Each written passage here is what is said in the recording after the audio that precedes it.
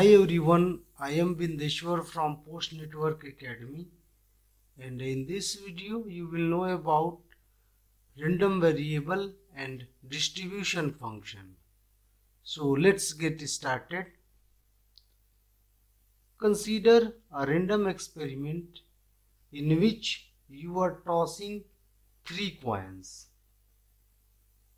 So the possible outcomes you will get which are here.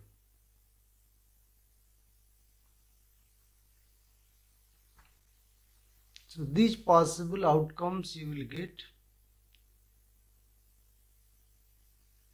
three heads, two heads, one tail, two heads, one tail again and so on. Here in the last you can see that three tails and zero heads where S is sample space H is occurrence of head and T is occurrence of tail. Now uh, let us understand what is a random variable.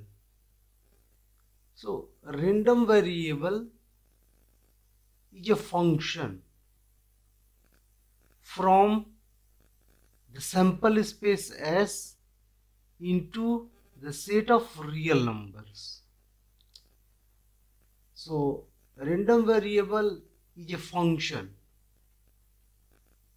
from sample space S to set of real numbers where Rx denotes set of real numbers which is a range of x.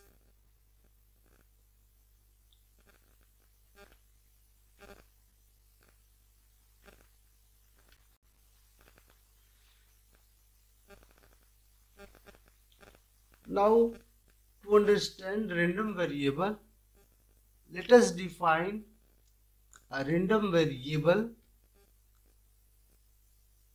which is the number of heads and here small s denotes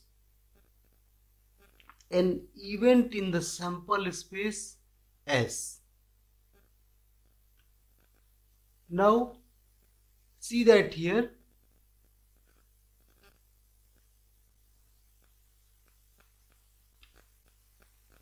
if you define random number x as number of hits so what you will get? You will get the following outcomes.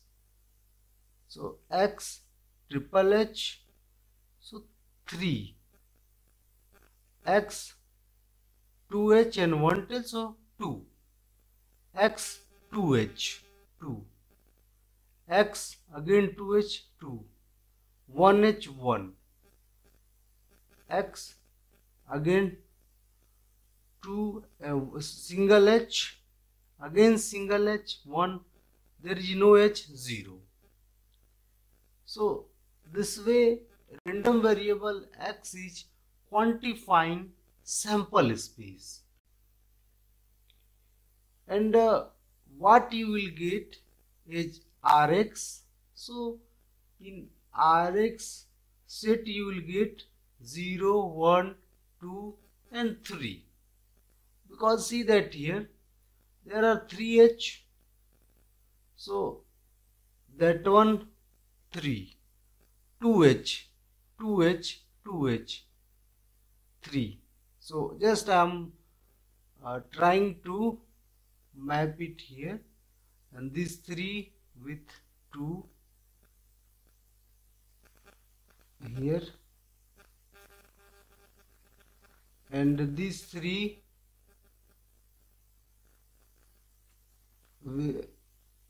only one H and here 0 H.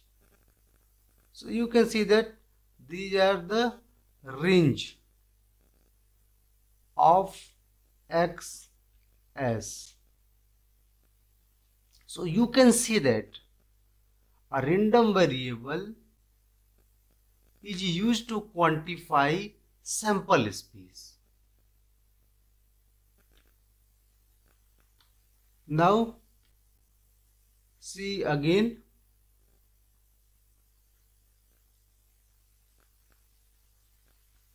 to understand probability mass function you should know that what is the probability mass function. So probability mass function or distribution function of random variable x is defined from Rx to R where Rx I explained that this is the set in which there are four elements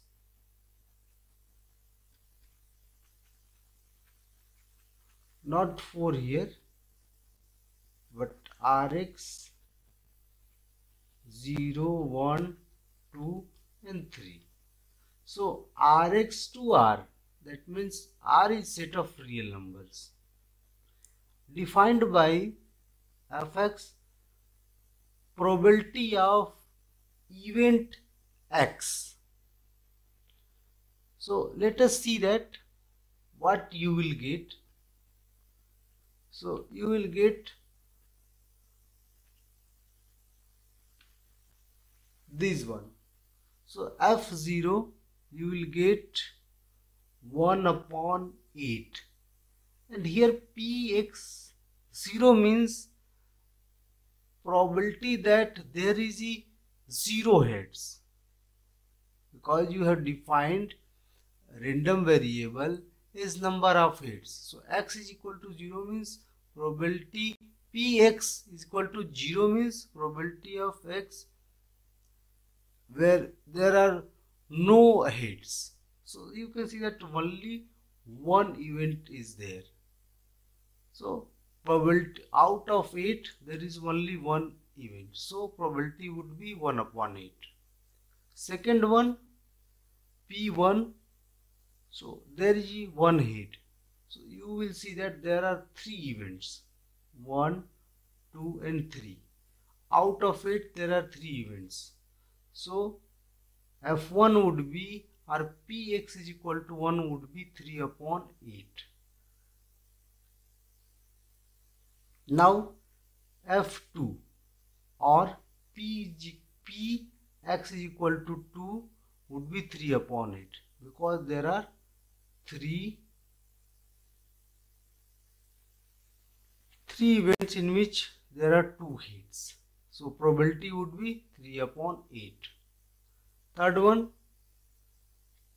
F3 or P x is equal to 3 that means probability of having three heads so that is because there is only one event so out of 10 so probability would be 1 upon 8. now this probability mass function fx has two properties see that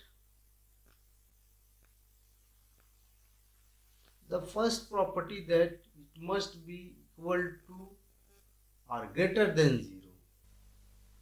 The second one is sum of all probability should be equal to 1. So see that how f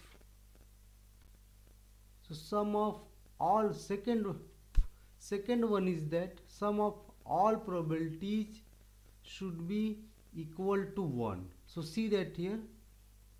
F what does it mean? F0 plus f1 plus f2 plus f3 that is 1 upon 8 plus 1 upon not 1 3 upon 8 plus 3 upon 8 plus 1 upon 8 that is 1 so a probability mass function has two probabilities. So this was about a random variable and probability mass function. Hope you have understood. In upcoming videos, I will make videos on more about random variable, its expectation, variance and various probability distribution functions. So thanks for watching this video.